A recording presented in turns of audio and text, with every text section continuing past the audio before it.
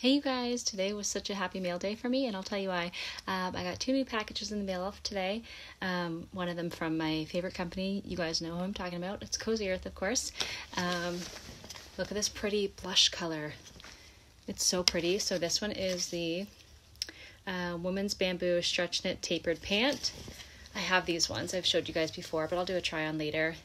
Um, and then the matching button down shirt as well. I'm I'm not even gonna say it because you guys already know I'm obsessed with them. They're so cozy, they're so perfect, they're so comfy. I love everything about them.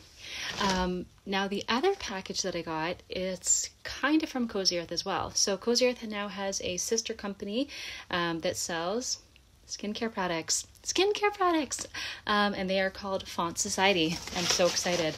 Um, so I just got this in the mail, and let me see. So we've got the water cream, the brightening oil, um, balancing mist, hydrating serum, and of course the cleanser.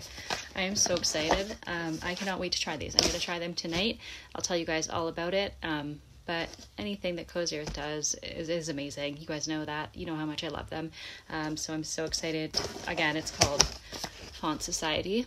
Um, I've got a discount code for them as well. It's different than the one I usually use for Cozy Earth, so I'll share the details with that as well. Um, but stay tuned. I'm really, really excited.